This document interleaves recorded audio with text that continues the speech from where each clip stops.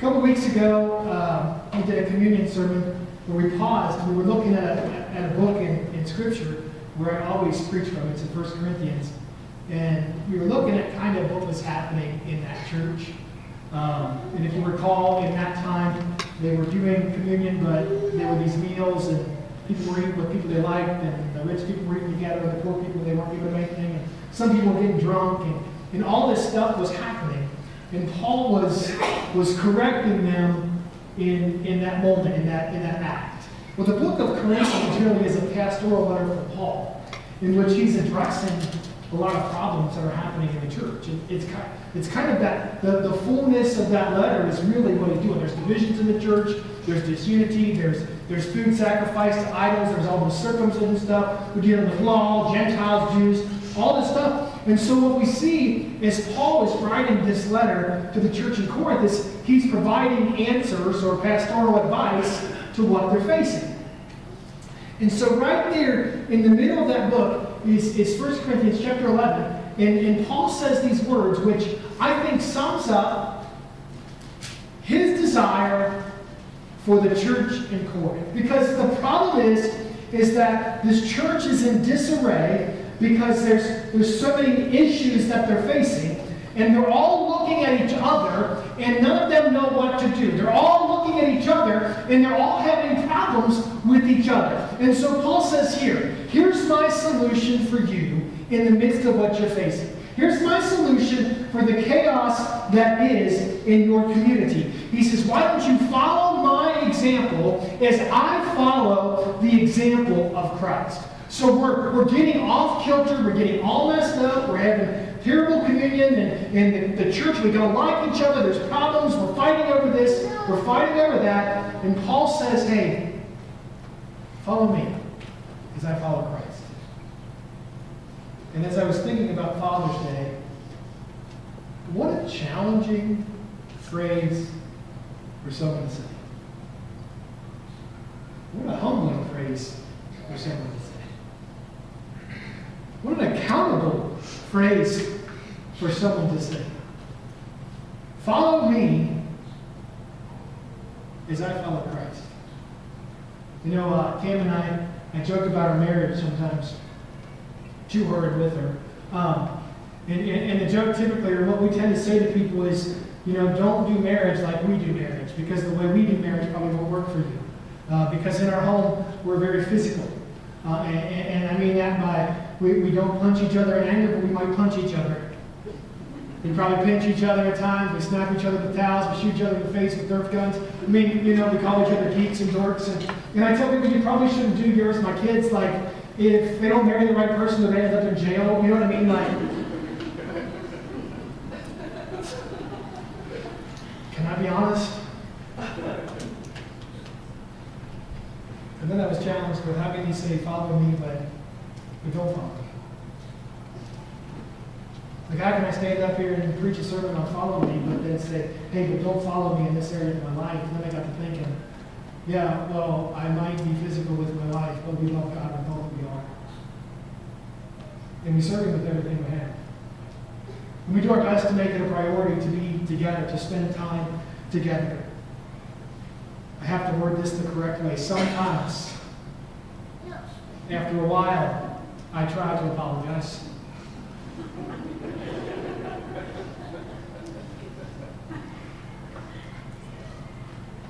You know, we try to live in the church like we live in our home. We try to live with integrity and be as real as we possibly can. And so I was challenged with, yeah, I might say don't do your marriage the way I do, but, but there are aspects of my marriage in which, in which you absolutely can reflect that, that, that there are absolutely assets to others who are following me. That if my children have a marriage and have a home that is, is, is content or is, is, is as full as mine is, then they'll be completely satisfied and they'll be fulfilled in life. Like that's what I hope for. You see, we live in a world that sometimes things look crazy. Now, when you look at this picture, do you see straight lines or crooked lines? Both. Yes or no? Or both? I see both.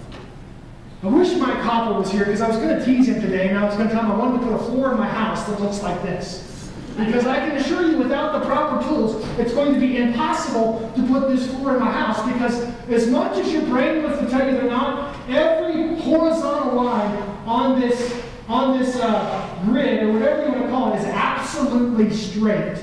And the only way we can verify that is if we have a tool that's that's straight. Because our brains tell us, man, there ain't no way those lines are straight. It looks like they go up and down and come this and that. And, and, and, and, that's the world in which we're living. That's the world that was the church in Corinth. They figure what straight lines were or what they were supposed to do. And so Paul says, hey, I'm going to be the tool that you can use to verify what is straight. If you can't find a square, Paul said, use my life. Follow me as I follow Christ. I'll say it again. How humble to say those words. One of the all-time great Christmas movies coming again. I'm going to write a book one day, The Gospel According to the Christmas Story. And we're not talking about Jesus' birth right now. We're talking about right around the BB gun, Ralphie. And what happens? They went and got their Christmas tree. Everything was great. They were singing Christmas carols in the car, and all of a sudden, pop on the side of the road. Remember this story? Ralphie's allowed to go out and help his dad. His dad thinks he's a NASCAR pit guy, and he's trying to do as fast as he possibly can. He puts all the lug nuts in the, in the hubcap, and Ralphie's holding that hubcap, and the dad, his arm comes up and he hits that cap, and it shows those lug nuts flying through the air, and Ralphie says, Oh, fudge. Remember that? The word, he didn't say that. He said the word, the big word, the queen mother of all the words. And, and, and, the scene goes, and you know, gets in the car, mom screams, yells, whatever else, they come home. And there's a really captivating scene when they get home. Because what's the first question mom wants to ask? Where did you hear that from? And listen to Ralphie's words. See, follow me as I follow Christ. Now, I had heard that word at least 10 times a day from my old man. He worked profanity in the way other artists might work in oils and clays. He was his true medium, a master. But I chickened out and I said the first thing that came to mind, I said, Schwartz.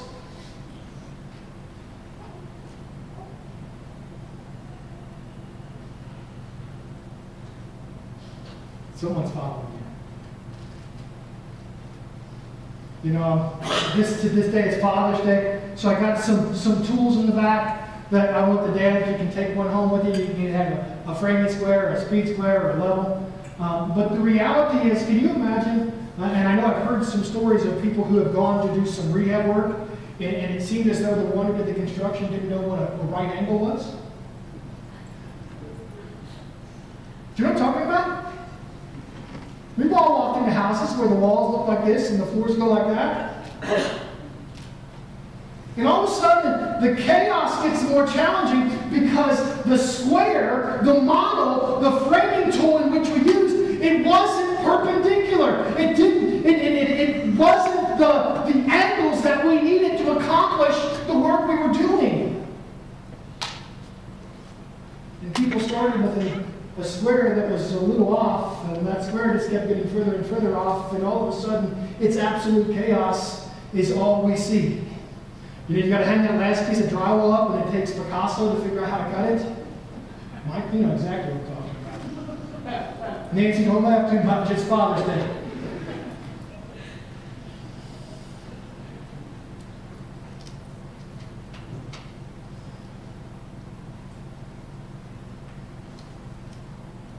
We need squares to build. We need tools to help us know if it's level. We need something we can reference ourselves on or things with. You know, God, it says in Acts chapter 1, verse 8, you'll receive power when the Holy Spirit comes on you, and you'll be my witnesses in Jerusalem, Judea, Samaria, to the ends of the earth. In 2 Corinthians chapter 3, we read this in Sunday school. We all who with unveiled faces contemplate the Lord's glory, we're being transformed into his image with an ever increasing glory, which comes from the Lord who is the Spirit. We are the witnesses of Jesus Christ. We are the witnesses of the power of God, the Word of God that was made flesh and made his dwelling among us. We are the witnesses of the power of the cross of Jesus Christ. We are the witnesses of what he accomplished on Calvary. We're being transformed into His glory in how we live and who we are. What tool are you? Because I urge you, this is Romans chapter 12, brothers and sisters, in view of God's mercy, to offer your bodies a living sacrifice, holy and pleasing to God. This is your proper, true and proper worship. Listen to what he says.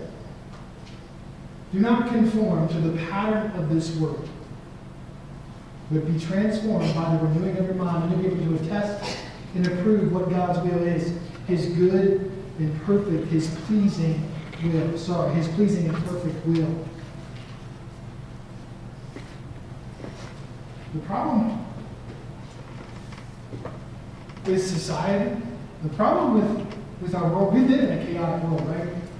Uh, uh, when I was in college, I took a class that's called Modern Geometry. Love for you to take it sometime. If you like geometry, you'll really love this. I hated geometry. You know, when we took geometry, it was an XY coordinate system. You know, that flat thing that had lined up and down. That was your XY plane. This geometry said, we're going to throw out what you know and we're going to make new truths. And so with the truths, we redefine the whole system. When you change the truth, you change the whole system. And so there were systems that they taught, and one of the systems was rather than having your, your charts or your graphs on an XY coordinate plane, what if we were looking at things through the lens of a sphere? Like that's the world. So suddenly the truth changed. X plus Y equals Z no longer was a straight line, it was now a curved line. And there was a different formula for a straight line in this system. The problem is we live in a world that's created multiple systems for how we should function, multiple truths for how things should be. But we have an absolute system that's the Word of God, the truths or postulates that should govern us, that we should be living by. And when I say we, I'm not just talking to dads right now, I'm talking to everyone in this room. There's an absolute truth that we should be living by. It's not the pattern of this world. We're not conformed to the truths that they're telling us, but we're transformed by the renewing of our mind. We're transformed by Christ Jesus in us. You know what's the problem? We say, Follow me, and people look at our lives and they look at our mess. This is the ouch moment. And they say, why would I want to follow that?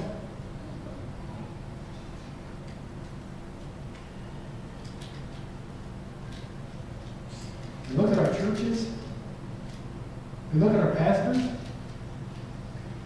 Let me show this to what I talked about yesterday at the pool. This is where we were talking. Why would I want to follow that?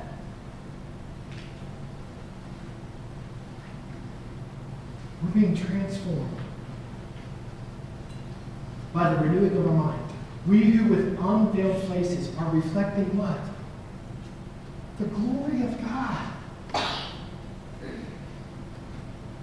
When someone's near you, you should be a tool that they can see what the glory of God looks like, what it looks like to be a new creation in Christ Jesus, what it looks like to have hope for a resurrected life with Him like to know that my sins are forgiven absolutely. It looks like they have faith and confidence in a God who is with us, who will never leave us and forsake us. And I get it. At times we struggle, but that's when we need. We need some. We need love. The crazy thing about love was, if you're one degree off, it doesn't take long to figure it out. You might not feel like you're that far off the mark here, but let's go down a mile down the road and see how far off you are.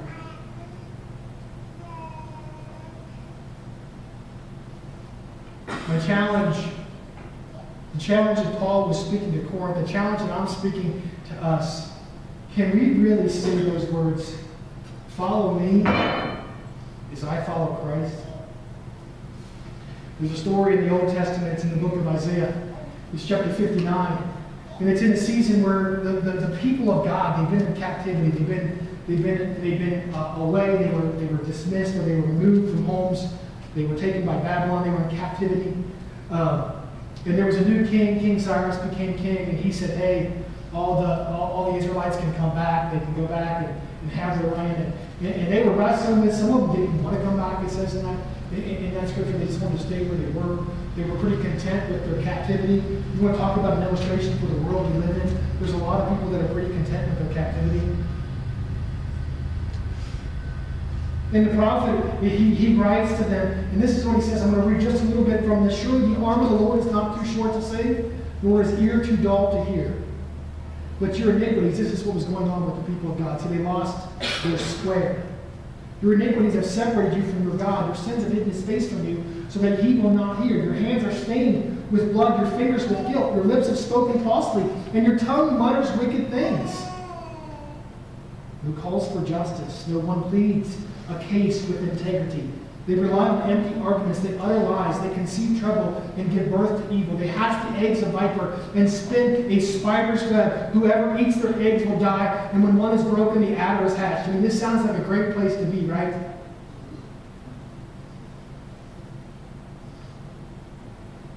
And the sad thing is, is I'm reading these verses, I'm wondering how far at times churches have come from the very words the prophet speaking right here.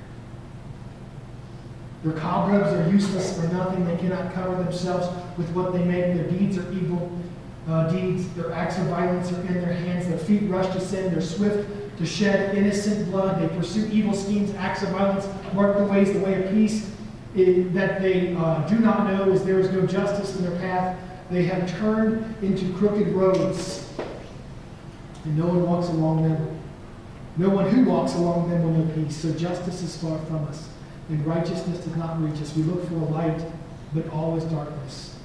For brightness, we all walk in deep shadows. Like the blind, we grope along the wall, feeling our way like people without eyes. At midday, we stumble as if it were twilight. Uh, among the strong, we are like the dead. The prophet is saying that here's the situation. It is so dark where you're at. It is so broken where you're at. Straight roads have become crooked roads, and people are following something. They're following someone. Even in the darkness, they're clinging for some reality. And really, this prophet, this, this verse, this chapter in, in, in Scripture is a call to, to the people of God that they need a standard.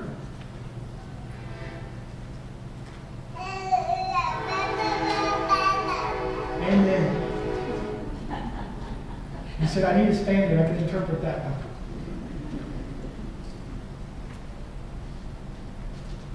Like we live in a world that absolutely needs a standard. We live in a home that need a standard. We live in a community that needs a standard. They need to be able to look at someone. They need light to come in the midst of darkness. They need us to be who God has called us to be, His witnesses, witnesses of the power of Jesus Christ. That's what the, the, the, people of Israel need. That's what the people of today need. They need someone, they need someones, they need sons, they need daughters, they need men, they need women, they need children that will rise up and be a standard for Him.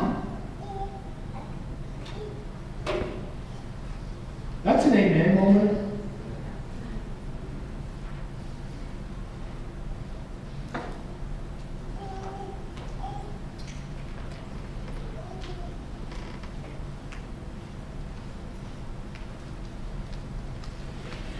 My kids need standard bearers in their lives. My kids need standard bearers at home. They need standard bearers at school. They need standard bearers who are their friends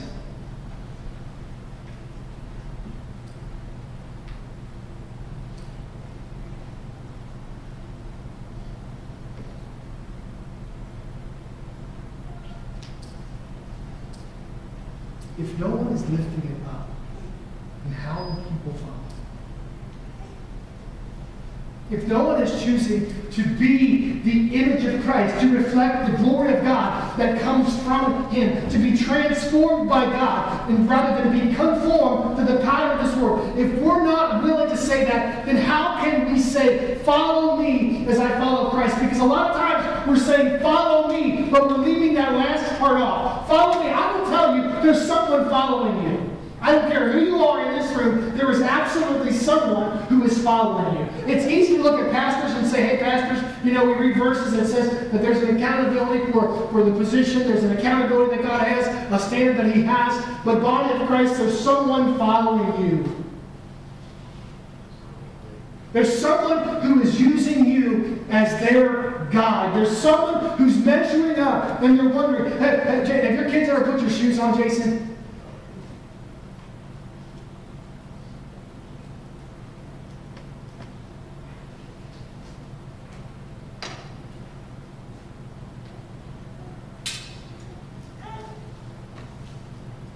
Follow me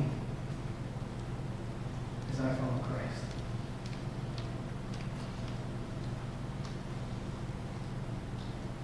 Walk how I walk. Live how I live. Talk how I talk. Pray how I pray. Worship worship. See, my house, one of the things I try after time, more often to my kids than my wife, to apologize. You know, we, when we realize we're not measuring up, it's okay to say, I'm sorry. It's okay to say, I, I, I need to change. It's okay to say, hey, son, the way I dealt with that situation, I wasn't meeting the mark that God intended for me. My wife already knows it, so I don't have to tell her. She's already told me several times. Usually kids know, it really makes it a lot better, if you know what I'm saying. I want to read, this is where I'm going to conclude. Uh, it's in Colossians chapter 3. And it's funny, when it comes to Father's Day, there's some verses in the book of Colossians that we often think about. And, and, and they're great verses. Um, it says, Wives, submit to your husbands as fitting the Lord. Husbands, love your wives and do not be harsh with them. Children, obey your parents in everything, for this pleases the Lord. Fathers, do not embitter your children, or they'll become discouraged. And it talks about slaves obeying your masters. And, and, and sometimes we focus on those words, those are the what's. But there's a whole lot that came before that in that chapter. There was a whole lot that came before simply husbands honor your wives and, you know, or husbands love your wives and, and, wives submit to your husband. I mean, there's a whole lot that comes before that that times we don't even look at because we like those verses or, or we want to talk about them. But look at what it says leading up to this. There's something in us in aligning ourselves with the will of God. Put to death, therefore, your earthly nature, sexual morality, impurity, lust, evil desires, greed, which is idolatry. Because of these, the wrath of God is coming. You used to walk in these ways, in the life you once lived, but now you must rid yourselves of all these things anger, rage, malice, slander, filthy language from your lips. Do not lie to each other, since you've taken off your old self with its practices and you put on the new self, which is being renewed in the knowledge of the image of its creator.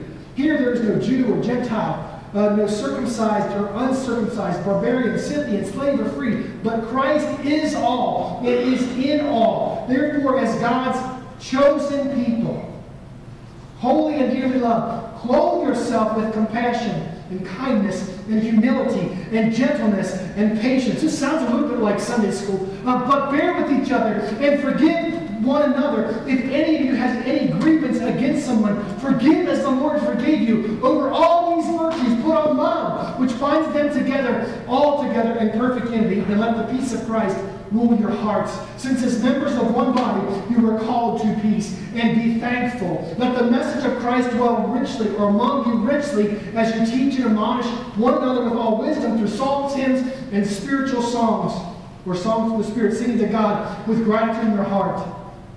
And whatever you do, whether in word or deed, do it in the name of the Lord Jesus, giving thanks to God the Father through him. And then, wives, submit to your husbands. And then, husbands, love your wives. How?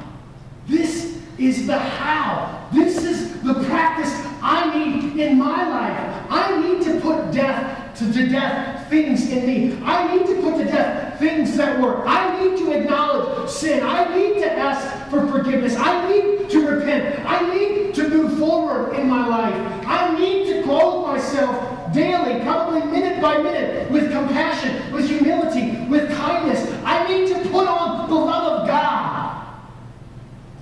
I need to be transformed. This is what this is. It's all about transformation. And when I live in Colossians chapter 3, it helps me not embitter my children. It helps me to be a, a, guide in which they can look at to see if they're in alignment or out of alignment, to see if they're, they're level or out of level. You guys can come forward. I don't know how many I know I want to say this. Dwayne was teasing me before church. Dwayne, I'm talking about you now. You can pay attention. Dwayne, you were teasing me before church. And he said, Pastor, I've got all those tools. He said, Pastor, I got all those tools. He said, I got like three of them. It's almost like he wanted a candy bar instead or something this morning. The lady's got candy bars. He wanted one. But here's going to be my challenge. I want every every dad, every man, every every person, if you got a man in your life, you can take it to him. Um, I want you to take one of those tools home. And if you've already got one, then give it to someone else who doesn't know how to use it and show them how to use it. You hear what I'm saying? But that's who we are. Follow, follow me. Follow, follow my example. As I'm following the example of Christ. Follow me in the way I'm living my life for Him, in the way I've surrendered, in the way I've witnessed, in the way I've acknowledged what God has done. Follow me as I follow Christ. Father, we come to you this morning. In those words of Paul.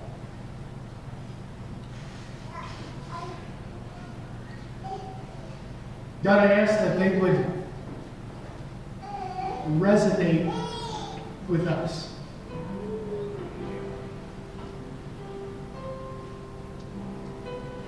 And God, the words wouldn't just be follow me, follow me, follow me.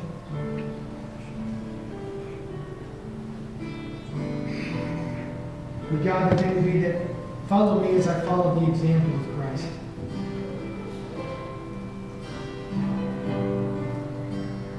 God, this morning as we as we as we're here, I pray the Spirit of God speaks to us, to our hearts, men, women, children, and reveals those skewed angles in our lives.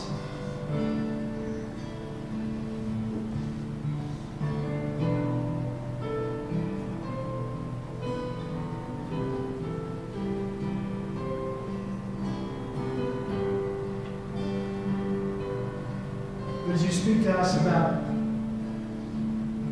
the parts that just aren't quite level. The words, follow me as I follow Christ, come to mind. And God, that we're willing to put to death the things of this world, that we're willing to put to death the things that we cling to, that we're willing to put to death the, the truths that the world has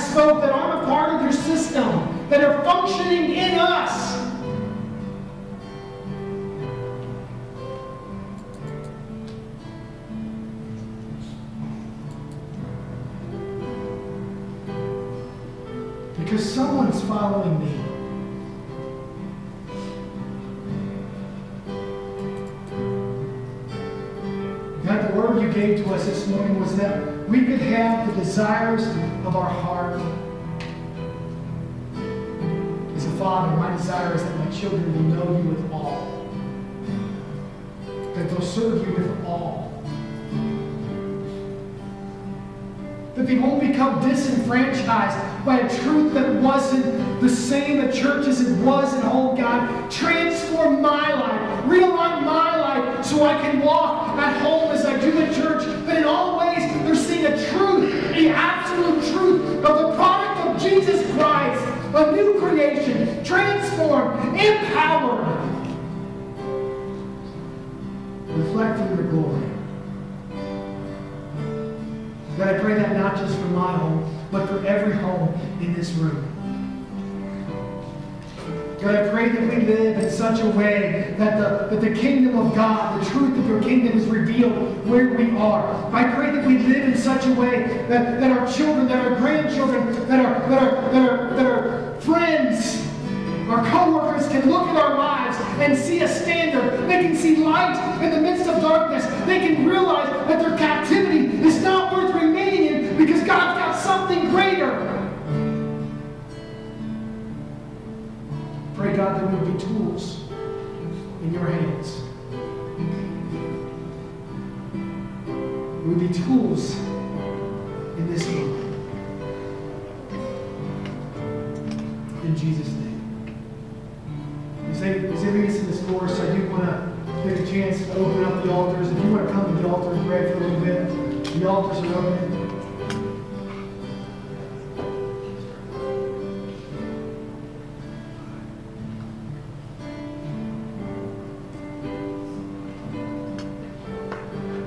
Someone's following. And they need that truth. They need that love. I'm going to say this, and I'm going to ask us to sing that. See, because the amen at the end means so be it, God. That's what we're really saying, God. This is what we want. And I'm the one who gets to say, the Lord bless you and keep you. May his face shine upon you, be gracious to you. May turn his face